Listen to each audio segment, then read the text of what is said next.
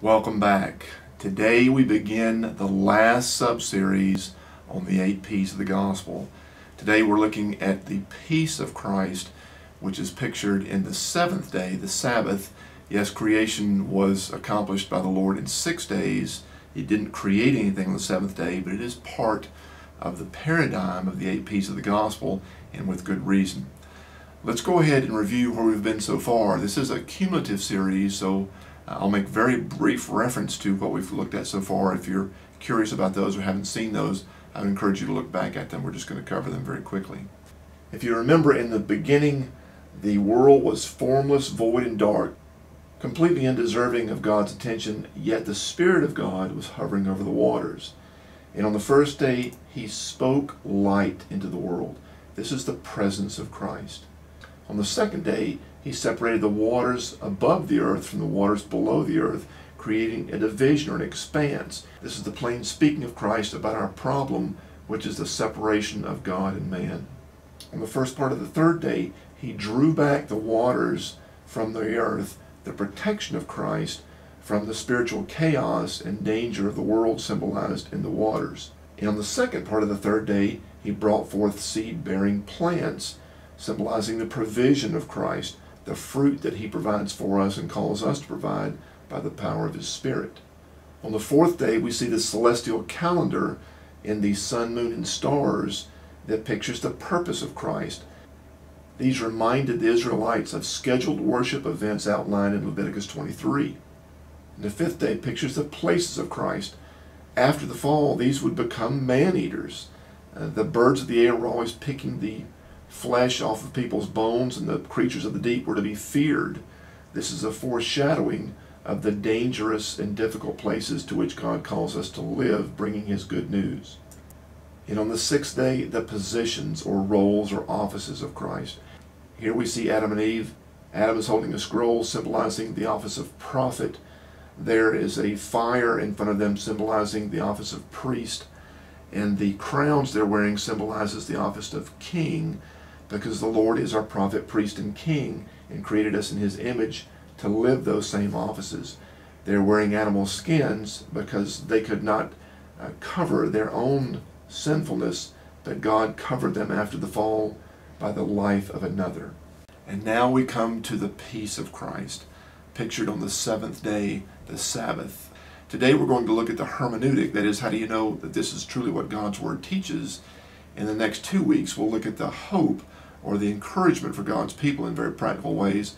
And the third iteration of this subseries will be help for non believers uh, or immature Christians. How do we bring specific uh, encouragements to them, and how can we be helpful to them with this part of the good news? Well, let's go ahead and look at a specific passage in Genesis here that uh, tells us that this is truly about the peace of Christ, perfect relationship with God by resting in Him.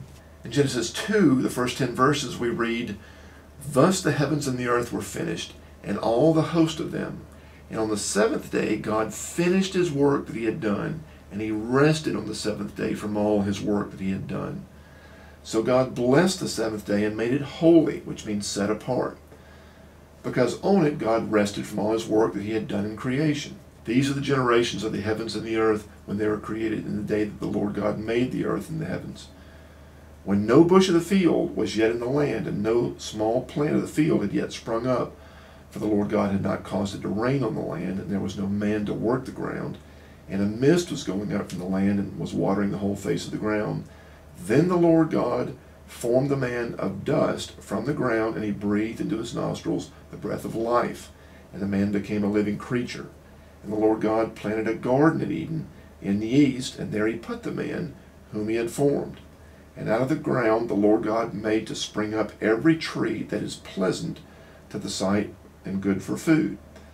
The tree of life was in the midst of the garden, and the tree of the knowledge of good and evil.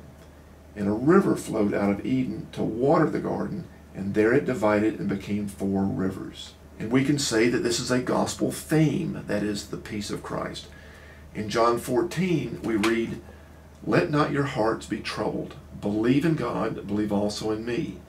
In my Father's house are many rooms. If it were not so, would I have told you that I go to prepare a place for you?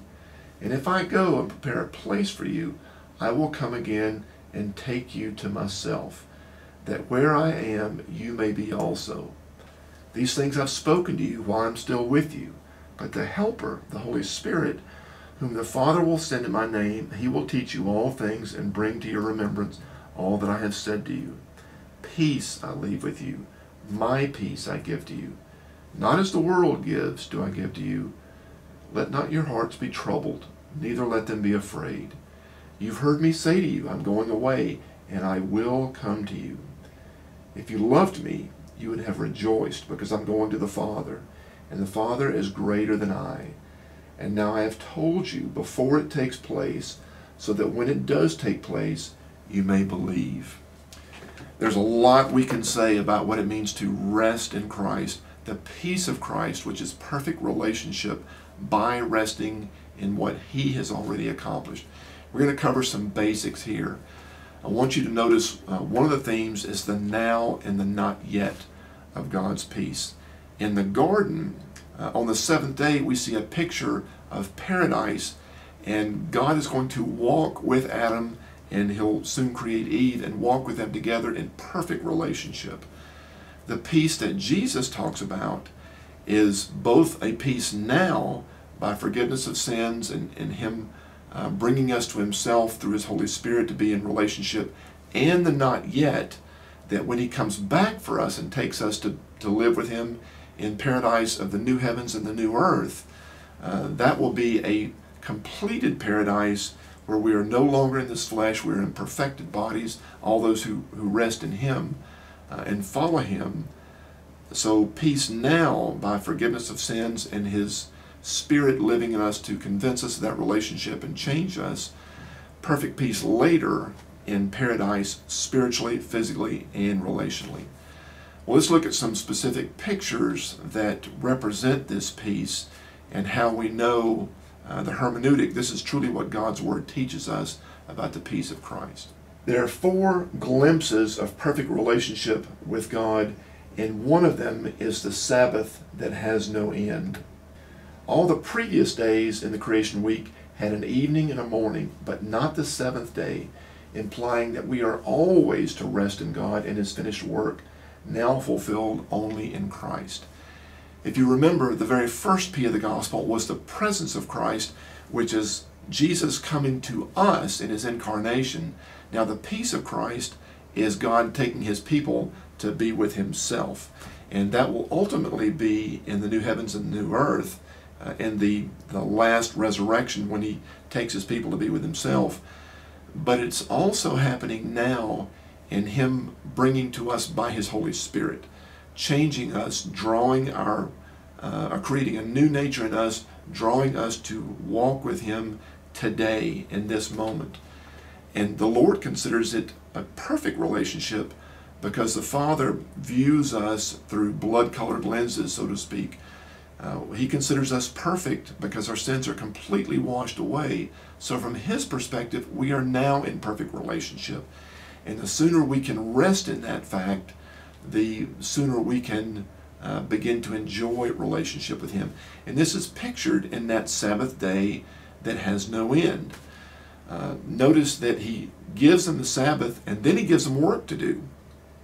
And then he, he creates a relationship, Adam and Eve, and he tells them to go out and uh, uh, populate the world and rule the world and, and, live in his image as we talked about in uh, the positions of Christ, the, the last subseries on the sixth day. But there's no end to that Sabbath, meaning we are to live forever now by resting in the fact that he has completed everything. God's work is finished. And we see, we see this uh, alluded to in Hebrews that we'll see uh, in just a few moments. The second glimpse is the tree of eternal life versus its antithesis. God walked with man before the fall, and the tree of life implies God's call to live with him forever, gaining knowledge of goodness as opposed to evil over time by a relationship of faith in him. So Adam and Eve uh, were to learn what goodness is, and uh, by comparison, evil uh, anything that is different from the goodness of God by working with God and walking with God over time. we'll see that specifically too.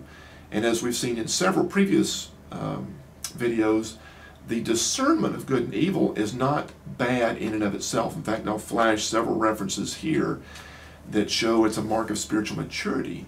What was evil was wanting to gain that immediately outside of a relationship with God, as opposed to walking with God, trusting in Him over time to learn what is good by that experience of relationship with Him. The third glimpse is rivers from paradise flowing into a fruitless world. Eden's glory, which was intimate relationship with God, was to overflow to all corners of the world by working with Him. And the four areas to which those rivers flowed implied life in worship, to the cursed, to enemies, and in blessing and or fellowship. All of the descriptions of those areas imply specific aspects of what it means to um, bring life or where we are to bring life. Bdellium and onyx were used in worship. Cush was later cursed. The Tigris ran through the uh, country of one of Israel's captors. Uh, later would be one of their captors. And the Euphrates means a broad place or a place of blessing and implied the fellowship of God's people around uh, the Holy Land, the, the uh, Promised Land. So there's a huge metaphor here of taking uh, life from paradise into the world in all sorts of places and for all sorts of purposes. And the last glimpse of a perfect relationship with God is a man wounded, healed, and united to bear fruit. Uh, that is Adam. But this is also a foreshadowing of Christ, who was wounded, healed in his resurrection, and united to his bride, so that we would bear the fruit of his image in this world. So there are four pictures of perfect relationship with God in different aspects. We're going to look at some specifics of those right now. First, God's peace was pictured in the Sabbath with no end, always resting in Christ and His finished work. When you look at Exodus 20, verse 11, and Deuteronomy 5, 15, both of these are references to the fourth commandment, which is the only commandment that changes from Exodus 20 to Deuteronomy 5:15. Freeze it and look at this. The first one, the motivation to obey the first, uh, the fourth commandment of resting in the Lord on the Sabbath, is that God was their creator. The second one is that God is their redeemer. So here we see physical reasons to rest in God. He provides everything we need physically. And the second one is spiritual reasons that He provides everything we need spiritually. He's the one who brought them out of Egypt. So we rest in God because He is the one who has already provided everything that we could not provide for ourselves. His work is finished. As soon as they were created, they couldn't give birth to themselves physically. They're already created. When He uh, brought them out of Egypt, a picture of spiritual salvation, we can't give spiritual birth to ourselves. We can't free ourselves from sin. We rest in the fact that God provides everything as creator and recreator, which is perfectly pictured in Christ Himself. We see this too in Hebrews 4, verse 8 and 9. For if Joshua had given them rest, that is, Joshua who led them into the promised land, God would not have spoken of another day later on. So there remains a Sabbath rest for the people of God. For whoever enters God's rest has also rested from his own works as God did from his. So the rest that Joshua spoke of is implying the perfect rest to come in the new heavens and new earth but also the rest that God provides through Christ in changing us, a rest now by change and forgiveness of sin, and a rest not yet in the perfect paradise to come after the resurrection. Revelation 22 also speaks of this Sabbath. No longer will there be anything cursed, but the throne of God and of the Lamb will be in it, and his servants will worship him. This is a description of paradise, the new earth, and the eternal rest that will be accomplished by Jesus, who is called the Lamb, one who died in their place. This Sabbath is a recurring message that God has already accomplished our peace. We don't try to become something or gain something uh, that God has already accomplished for us as our Creator and our Recreator. The next glimpse of the peace of Christ is the tree of eternal life, knowing goodness by faith in Him over time. We see this picture in Psalm 1, verses 1 and 2. Blessed is the man who does not walk in the counsel of the wicked, or stand in the way of sinners, or sit in the seat of mockers, but his delight is in the law of the Lord. And on his law he meditates day and night. He's like a tree planted by streams of water that yields its fruit in its season, and its leaf does not wither. In all he does, he prospers. This tree is a picture like the tree in Eden and like a tree that we'll see later that is drinking up the waters and, and is growing gradually in season. Now there is blessing, there is uh, peace from God because of what He provides, and that peace overflows to others who can benefit from what the tree provides.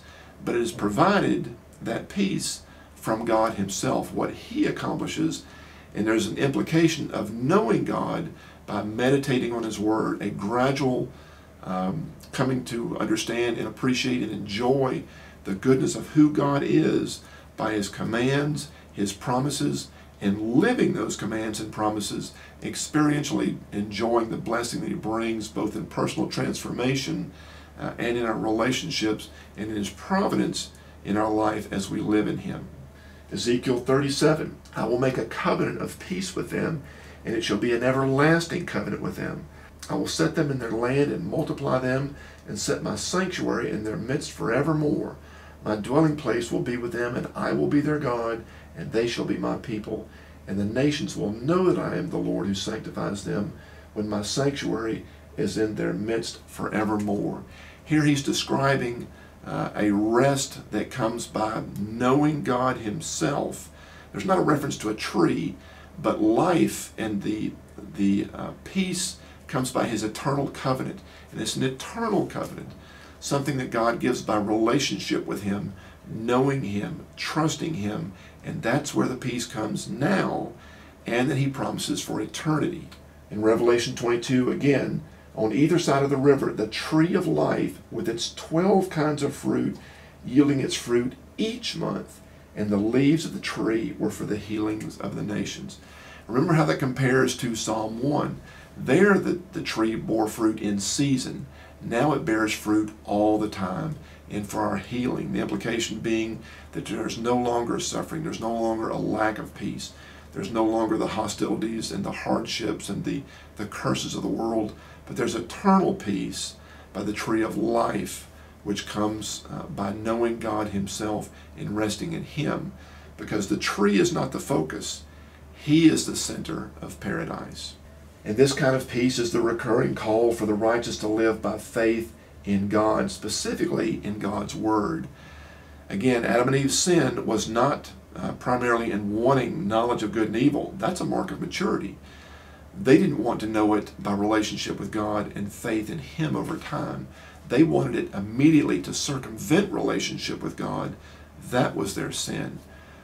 We are to rest uh, in God and find eternal life by faith in His Word, what He says day to day, what He says in His Scripture, uh, what He teaches us uh, through His Spirit um, and His Word working together.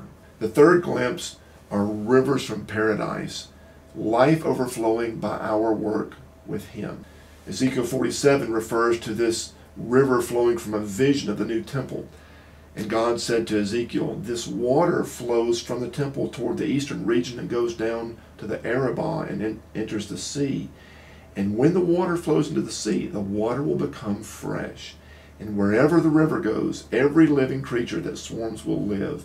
And there will be very many fish, for this water goes there that the waters of the sea may become fresh, so everything will live where the river goes.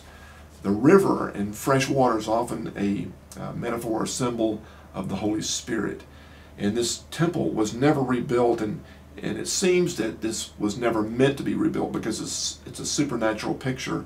A river that's so powerful that it pushes into the salt water and makes the salt water sea fresh so that everything lives.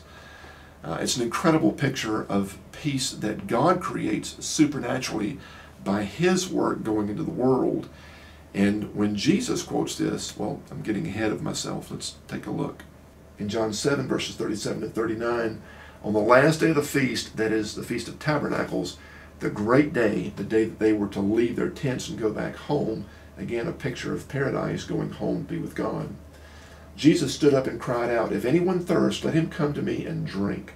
Whoever believes in me, as the scripture has said, out of his heart will flow rivers of living water.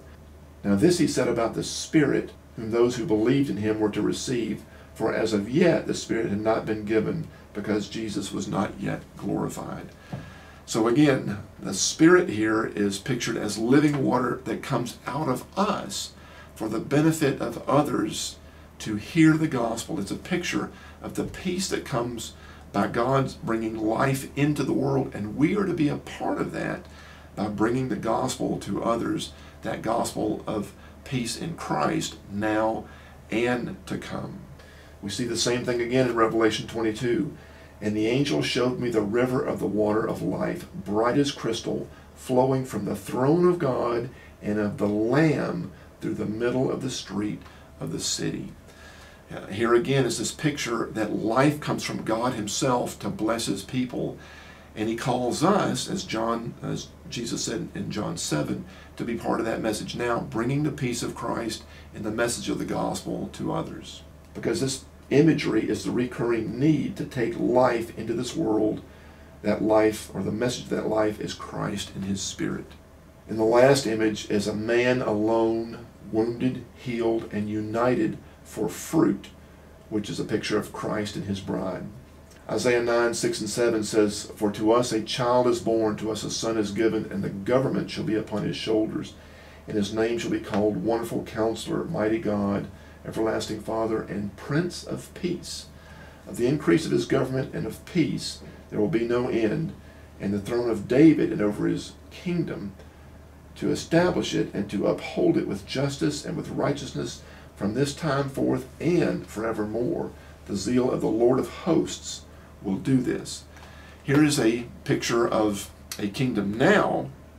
It's referring to, to David, although this is long after David's time, and an eternal kingdom that the Prince of Peace will accomplish. He will accomplish it uh, in the world, not here politically, not a theocracy, but uh, by transforming our lives and our relationships, that there's a trickle effect in this world now, but ultimately in paradise forever in the new earth. We see this again in Revelation, uh, both chapter 5 and 21. And between the throne and the four living creatures and among the elders I saw a lamb standing as though it had been slain, with seven horns and seven eyes, and, which are the seven spirits of God and sent into all the earth in chapter 21 and i saw no temple in the city for its temple is the lord god and the almighty and the lamb that one who was wounded that one who had been slain. And the city had no need of sun or moon to shine on it for the glory of god gives its light and its lamp is the lamb. By its light will the nations walk and the kings of the earth will bring their glory into it and its gates will never be shut by day and there will be no night there. This is the recurring picture of love, Christ's self-sacrifice for others' life. There are many things that God could have used by His Holy Spirit to describe Jesus in Revelation. Uh, the king, the gate, the door, the bridegroom, the uh, Prince of Peace, but He calls Jesus the Lamb, the one who is slain.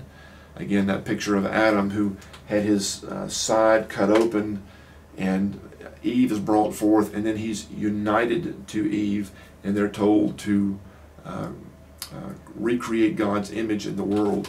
In the same way, Jesus was speared in his side.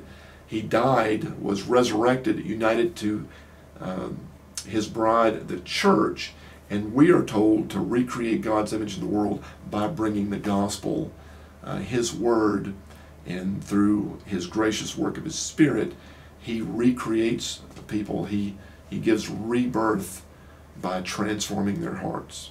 This peace of Christ is the blessing of God's people, both in greeting and goal. The Hebrew word shalom can be translated completeness, soundness, welfare, or peace likely because of God's character reflected in his law, promises, and his presence to enable those anticipating fulfillment in the Messiah or Christ. Messiah being the Hebrew word, Christ being the Greek word for the one who is anointed or chosen to accomplish this peace. Only Jesus can bring this kind of peace, which is perfect relationship with God. The Greek word eirene may be translated one, peace, quietness, or rest, in the New Testament implying this same foundation and future. Because the reality of God's peace, which is perfect relationship with Him, is both now and not yet. This oneness or wholeness, this, this peace, even in the middle of difficult circumstances, because Scripture says that He gives a peace that surpasses our own understanding. This is only possible by the one who is chosen or anointed to accomplish it, which is Jesus Himself, now in this world and not yet in the perfect paradise to come. This is why all the letters from Paul, Peter, and most from John begin with grace and peace. Grace is the means by which this peace comes. God's undeserved work of His Spirit to, for, to uh, transform us and His Son to forgive us by His death in our place. And the peace is the goal.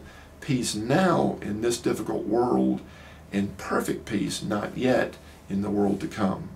You can see here several greetings of peace uh, now in common graces of his blessings in this world and justification and definitive sanctification. You can freeze the video and look these up for yourself. Justification is the legal declaration of our innocence because Jesus died in our place. Some say it's just as if we had never sinned. I wouldn't go far as to say that because if we had never sinned, there'd be no need for Jesus to pay the price. But it is a legal declaration, his imputing or giving his innocence overlaying his innocence on us and taking our guilt in his place. His definitive, or excuse me, our definitive sanctification means that God declares us innocent and pure and whole, uh, even though we're not yet. We're not yet pure. We're being made pure.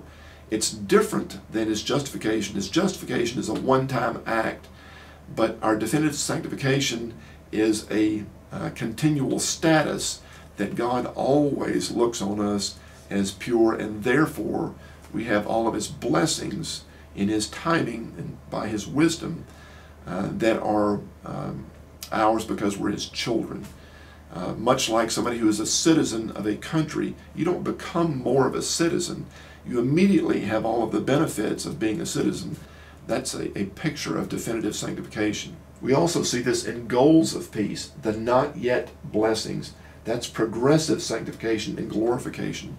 We are still being made pure in our experience of purity. And one day, not yet, we will be glorified and perfected. That's a lot of information. Um, what I want to summarize with before I kind of segue you to the next video on the hope uh, of the peace of Christ.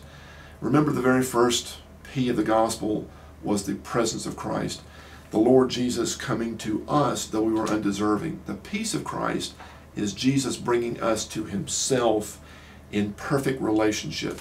And he does that now by uh, declaring us innocent, by giving us his Holy Spirit as a seal to convince us of his love, and promising to take us to a paradise of perfect peace in the new earth. Both are real now and not yet. Hope that makes some sense to you.